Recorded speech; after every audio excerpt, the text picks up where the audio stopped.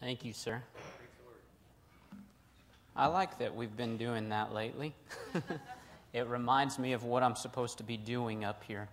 And that's always important that we are here to hear the Word of God. And it's not about me, it's not about what I do, but it's about us hearing the message of Jesus and the words of God. I'm glad that each of you are here this morning. I'm glad that you've chosen to come and be a part of this worship assembly. I think there's no better place that we can be. And I, I'm glad that, that each of us have come here to open His Word and to hear what it says. This morning, I want us to look at the faithfulness of God.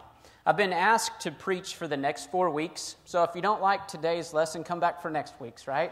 Uh, it'll get better from here. But I've, I've been looking at faithfulness, and uh, our work camp, our theme was faithfulness. And I think it's really blessed my life, and I want to share that with our entire congregation. And so, for the next four lessons, we'll be looking at faithfulness what it means for us to be faithful, what our journey looks like, what it looks for us to take steps of faith, what it looks like for us to share our faith. I believe that all of those things are very important and are something that God calls us to. But in any relationship that we have, one of the most important things for us to be able to put faith in someone is for us to be able to trust them. Now, yesterday, I, have got to, I've got to tell you that there were a few people that become, became a little untrustworthy in my mind. One person took a picture of me and sent it to someone else. They know who they are. And I thought maybe we should do some illustrations up here and have some things going on and see how much they trust me, you know, and see where our faith goes there. But then another person, we were playing, we had game night last night. We were playing games, and it's one of those silly games where you have to do things that make you look foolish, basically. And I was supposed to yodel as until I could roll the dice three times and it come up with a two each time. And so I yodeled and yodeled and yodeled and yodeled. And somewhere in between there, somebody started taking a video of me, and then they posted it on Facebook. You think about relationships and how important it is for us to trust people. Trust is something uh, that is so important. For us to put our faith in someone, for us to be able to rely upon them, to lean upon them, trust is one of the most valuable things that we can have. I think about all our relationships that we have. There's all different types of relationships out there. Uh, here recently, we have seen a lot of people in this congregation get married. And we, we have seen them make vows to each other. We have seen them make commitments. And those commitments were even made before God, right? They made those commitments and they said, You can trust me.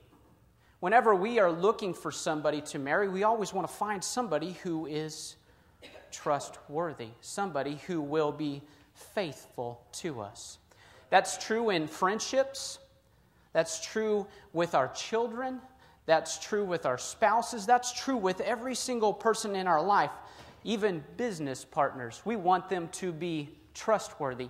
Somebody that we find out on the street, we want them to be trustworthy.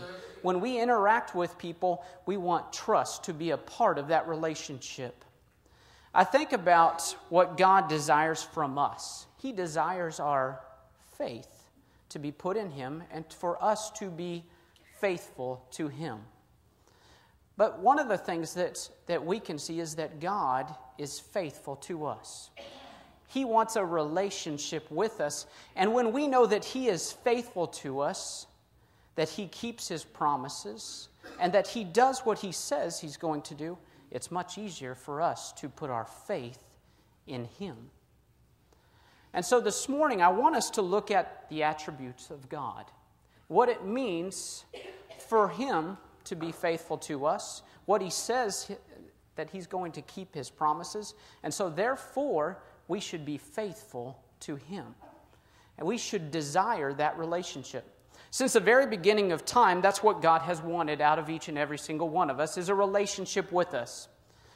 You see it with Adam and Eve in the garden. He wants a relationship with them. He wants to interact with them. He wants them to be a part of him. He wants them to do the things that he asks. But we see that they eat from the tree that's in the center of the garden, and that relationship is damaged. Not unrepairable, though, because that's what the whole Bible is about, is him desiring a relationship from you. If you look at Luke chapter 15, you see a parable that Jesus tells. It's three different stories within that, within that parable. But what leads into this parable is that Jesus is with sinners and with tax collectors. And you see in that, in that specific uh, chapter that, they are, that the tax collectors and the Pharisees are very unhappy with him for being with those people. And so Jesus tells these three, these three stories within this parable. He tells the story of the lost sheep, the lost coin, and the prodigal son. And those three stories are meant to tell us that God wants a relationship with us, that He rejoices when, he, when that relationship is repaired, and that He wants to, to have us in that relationship. And so everything throughout the Bible is leading to us having a relationship with Him. That He is willing to go to any extent that it takes to have that relationship. He's even willing to lay down His Son's life, but it requires something from us, doesn't it? Requires us wanting a relationship with Him. And so we're going to take a look at why we should desire that relationship with Him. If you would open up to Numbers chapter 23.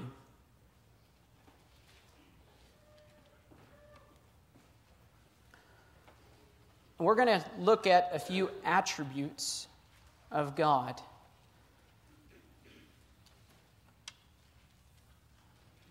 The first one is, is God is truthful. He is somebody that you can trust, somebody that you can depend on because he is truthful. In Numbers chapter 23, verse 19, he says this God is not a man that he should lie, nor a son of man that he should change his mind. Does he speak and then not act? Does he promise and not fulfill? God is truthful. He fulfills his promises. He does what he says he's going to do. In Titus chapter 1, verses 1 through 3, just to back this up, he says, Paul, a servant of God and apostle of Jesus Christ, for the faith of God's elect and the knowledge of the truth that leads to godliness, a faith and knowledge resting on the hope of eternal life, which God, who does not lie, promised before the beginning of time. And at, the, at his appointed season, he brought the word to light through the preaching entrusted to me by the command of God our Savior. God does not lie, He cannot lie. He is truthful in everything that he says.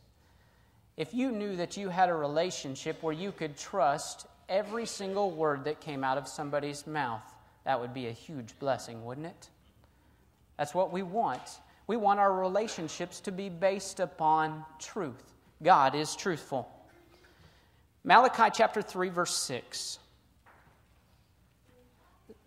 The next one that we can see is that God is immutable. That's a big word. God does not change. He does not change who He is or what He promises. He sticks to His promises. In Malachi chapter 3, verse 6, he says, I, the Lord, do not change. So you, O descendants of Jacob, are not destroyed. God does not change. He says the same thing in Hebrews chapter 13, verse 8. It says this Jesus Christ is the same yesterday and today and forever. He is always the same, He does not change. What He said at the beginning is true today, and what He says today is true today. It continues to be the same, He doesn't change. In our lives, we change, don't we? As we gain knowledge and as we learn things, Sometimes we don't have full knowledge. Sometimes we don't know everything. And we change because we need to change. Sometimes we see that we're not right in the things that we're doing and we need to change. But God is always right, He knows exactly what He's doing. And so, therefore, He does not need to change. He is always the same today and yesterday. He is somebody that you can depend on in your life. James chapter 1, verse 17 says this Every good and perfect gift is from above, coming down from the Father of the heavenly lights, who does not change like shifting shadows. He does not change. He is the same today, yesterday, and tomorrow. He will always be the same person. You can depend on that, right? If you want to be able to depend on someone, that means that they cannot change their mind. They can't change what they're doing. They're always going to be the same. So God is dependable, He does not change. The next one is, is that God is love. In 1 John chapter 4, verse 7, I know I'm giving you a lot of scriptures and running you all over the place, and I apologize for that. But I think these are good for us to hear and to read. He says, Dear friends, let us love one another, for love comes from God. Everyone who loves has been born of God and knows God. Whoever does not love does not know God, because God is love. God is love. He loves you, He loves me, He loves everyone. That is His, his, his character. He loves every single person on this earth, and He does what's best for each person. You can depend on that.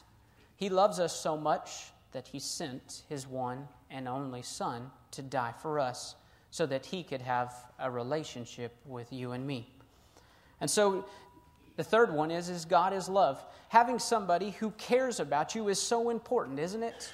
Whenever you enter into a relationship, you want to know that that person loves you, that they are looking out for your best interest, that they're going to do what's best for you. Here's the fourth one God is omniscient. This means He is all knowing, He knows everything. In Hebrews chapter 4, verse 13, it says this Nothing in all creation is hidden from God's sight. Everything is uncovered and laid bare before the eyes of Him to whom we must give an account. It's kind of a scary verse in some ways. But thank God we have Jesus, right? He knows all, He sees all, He knows everything. Nothing can be hidden from Him. He knows it. He knows everything that's going on. And when you think about someone that, that you can trust, they need to know everything. When they make a promise, they need to know what's going to happen and how it's going to be fulfilled and how everything is going to place to take place. Because if he doesn't know you, how can he take care of you? He knows everything that you need. And so, therefore, he is uh, omniscient, he is all knowing. God is also omnipresent, he is always present. If you would open up to Psalm 139.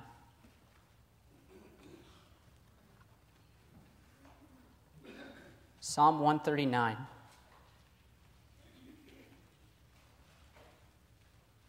starting in verse 1.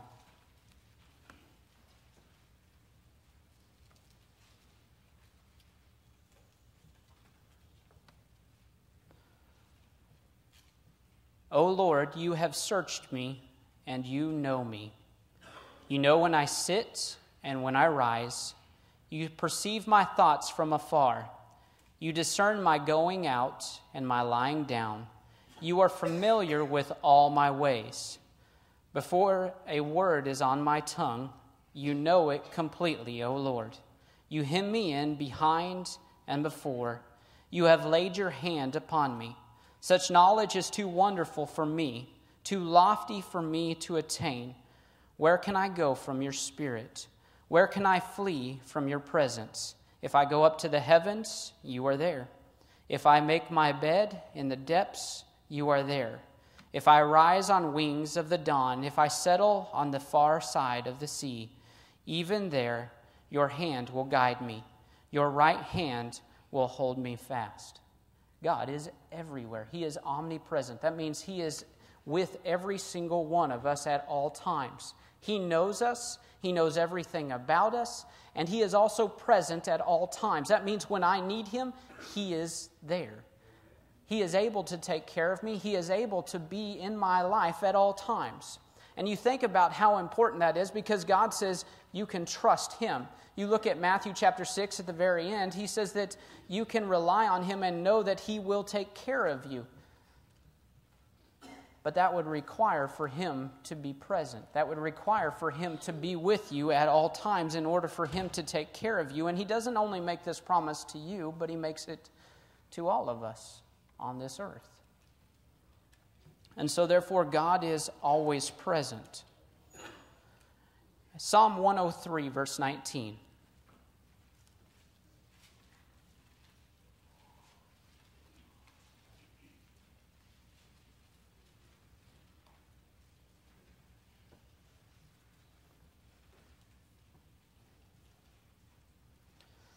God is omnipotent. It means He is all powerful. He has the power to do what He says He's going to do.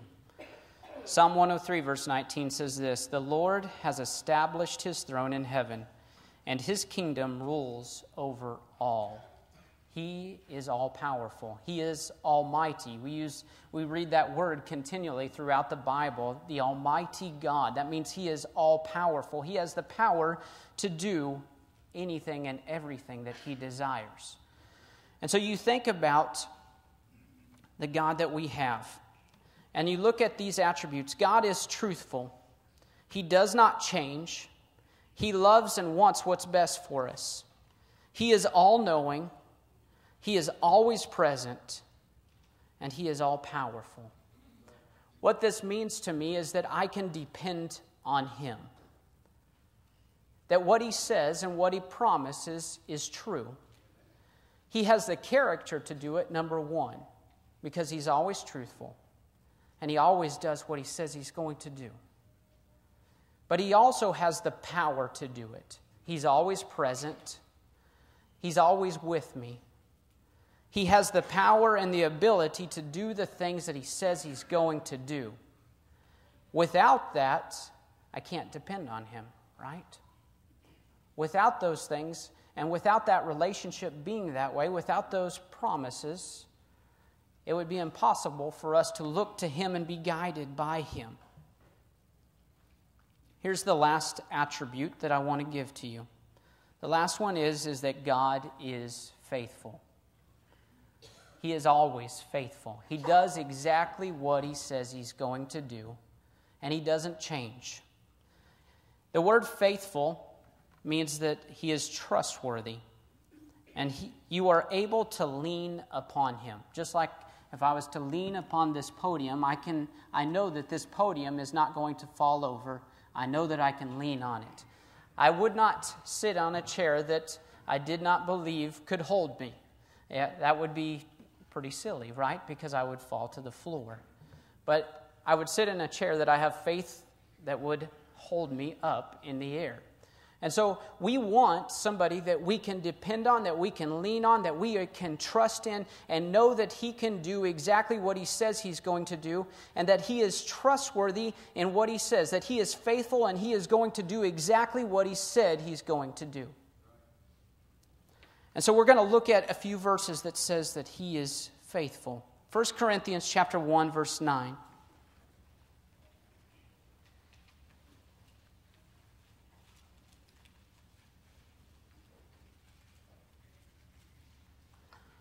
If you look up the word faithful, uh, you'll have a good assignment for the week to be going through quite a bit of, of God's Word.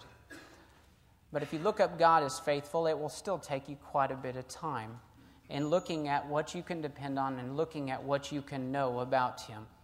But in 1 Corinthians chapter 1, Paul says this God, who has called you into fellowship with His Son, Jesus Christ our Lord, is faithful.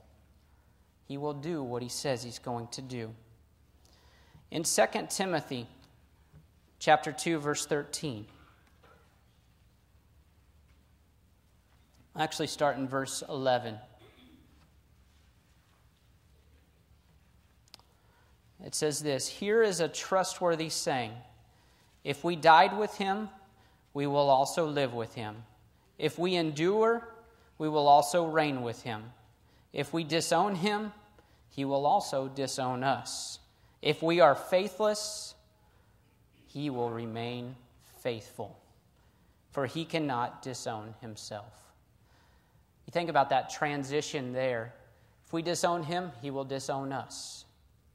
But then he says, if we are faithless, he will remain faithful. There's not too many relationships in this world that we can depend on in that way. When somebody is faithless, most of the time we become faithless in them also. Not always. Not always true. You see this, though. I was reading uh, the book of Hosea just here recently. And the story of Hosea is a very interesting story. Uh, and, and looking at it and taking in all of it and just imagining what that must have been like. But Hosea was called to marry a woman who would be unfaithful. And he was to remain faithful in that relationship, and he continually went back to her to get her and to bring her back into relationship with him over and over and over again. Yet she remained faithless. And it illustrated what Israel was like and God's relationship with Israel. God being represented by Hosea, who was always faithful and his people always being faithless, continually, day after day, falling and not doing what he had asked them to do, chasing after other gods and not observing what he had commanded. But we have a great blessing in that while we are faithless over and over again, and we struggle and we fall apart, we have a God who is faithful. He will always be there. He will be somebody that you can depend on at all times. Take a look at Deuteronomy chapter 7, verse 9.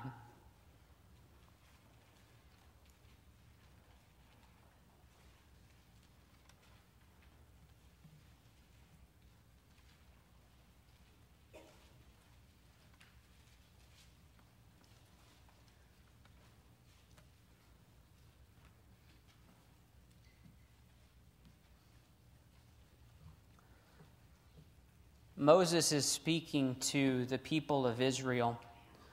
Uh, back in chapter 5, he's giving the Ten Commandments to them. He's reminding them of who they're supposed to be and what God is going to do for them. And it can start in verse 1, looking at all of this, that he's promising them the land uh, that they are going to enter. And he does it as if they've almost already taken it over. Uh, it, just in, in, in the way that he speaks about it, it is as if they are going to do it. He knows they are going to do it, and you can see his faith in what God has said. But in verse 9, he says, Know therefore that the Lord your God is God.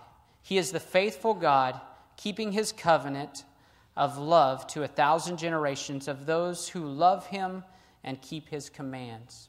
You look throughout this, this entire chapter, and he's promising them the land that God is going to give them, that they are going to take it over, that they are going to have it.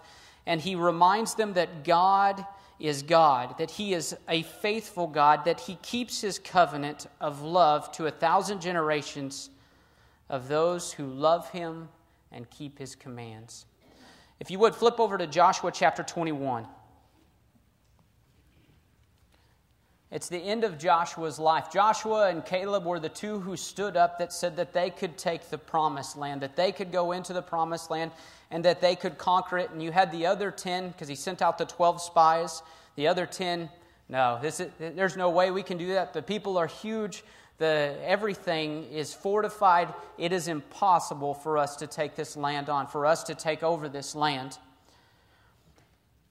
But when you look at Joshua chapter 21 and, and where they have come, They had to wander in the wilderness for 40 years.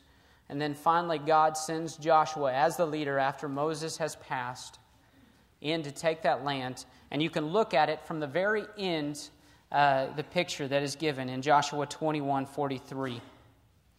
He says this So the Lord gave Israel all the land he had sworn to give their forefathers, and they took possession of it and settled there.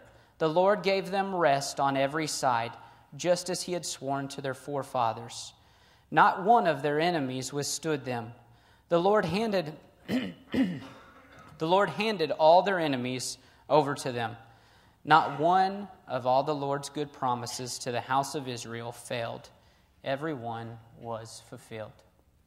You see God keeping his covenant with Israel and them taking on that land and, and them destroying the enemies that were before them, that God promised them that they would have that land and that they would receive all of these promises. It says that not one of those promises failed, but that God is faithful. He says this over and over again. This is towards the end of Joshua's life when he is about to pass on, and he's reminding them of who they need to serve. He even asks them, Who are you going to serve today? As for me and my household, we will serve the Lord, right? You see that up on everybody's wall, and you see, uh, you see those passages uh, put around. But we need to remember what God has done. When we remember that God is faithful, I think it reminds us that we need to be faithful to Him. The next few weeks, we're going to be looking at our faithfulness to God, what it means for us to be faithful, what that journey looks like, what it means for us to take steps of faith and depend on, on Him, but also about us sharing our faith with others and how important it is for us to be willing to do that. This morning I want to leave you with one last one thing, one last thing. In Hebrews chapter 10, we read this excuse me. Doesn't help to turn away from the mic when the mic is on your chest. I keep forgetting that this isn't on. Earl read this for us, and this was our theme verse for our work camp. But I think about how important this verse is over all of these things. God has made us a promise that He will be faithful to us. He says, I'll always be truthful to you. I won't change. I love you. He says that he will he knows what's going to happen and so he can take care of us. He'll always be present. He has the power to do that and that he'll be faithful in those things. He also promises the gift of eternal life if we will follow him. And I think about this passage and how it reveals that to us that we as Christians have been called to follow Him and to hold unswervingly to it. So let's read it. Verse 19 it says, Therefore, brothers, since we have confidence to enter the most holy place by the blood of Jesus, by a new and living way opened for us through the curtain, that is, His body, and since we have a great high priest over the house of God, let us draw near to God with a sincere heart and full assurance of faith, having our hearts sprinkled to cleanse us from a guilty conscience, and having our bodies washed with pure water. Let us hold unswervingly to the hope we profess, for he who promised is faithful. God has promised us eternal life if we will deny ourselves, take up our cross, and follow him if we will give our whole lives to Him and honor Him with our lives, die to self, and give, give your life to Him, He promises you that you will have eternal life. What a blessing that is. He says, hold unswervingly to the hope we profess. That means you're not, not going from one thing to the next, not swinging out here to this worldly thing to the next, but that you are setting your eyes, that you are focusing your eyes on Him. That's what it says in Hebrews 13, actually. That we are to focus our eyes upon Him. If you want to have a strong faith, if you want to be faithful to God, set your eyes on Jesus. That's how we do it. Today you have a promise from Him. You have the promise of eternal life, but it requires your faithfulness. It requires you to honor Him. It requires you to live a life for Him and to deny yourself and give yourself completely to Him. The question that I have for you this morning is Do you know that your God is faithful? Do you trust what He says? Do you know that the words that He speaks throughout this entire Bible affect your eternal life? Those things He promised to you, He is faithful in them, He is trustworthy in them, He has the power to fulfill them. The question is have you put your faith in Him? Do you want that relationship that He offers? So today, we want to offer that relationship to you. Maybe you've turned away from that relationship. Maybe you've never had that relationship. We do that by baptism. We do that by being faithful to Him and by honoring Him in our walk. This morning, we want to offer that to you. Maybe you need prayers. Maybe you want to walk with Him. Maybe you need to, uh, need to uh, put your life back towards that direction. We want to offer you that chance at this time as we now come and stand and sing.